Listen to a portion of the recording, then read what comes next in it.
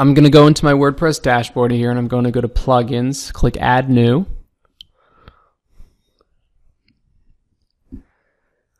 And I'm going to type in WP Optimize.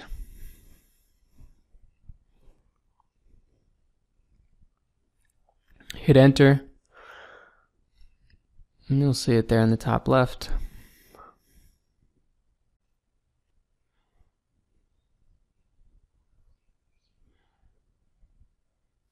And you're going to click Optimizer. So these things will be checked off automatically. Don't worry about the red ones, just leave those unchecked.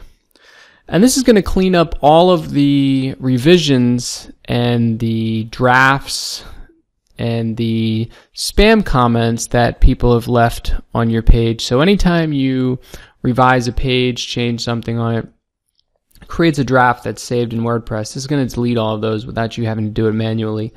You might want to back up your WordPress dashboard just in case there's something that you're not sure that you want to get rid of, maybe a revision that you wanted to keep. Uh, and once you've done that, click Process, the big blue button. You'll see it deleted more than 1,200 post revisions and then one auto draft.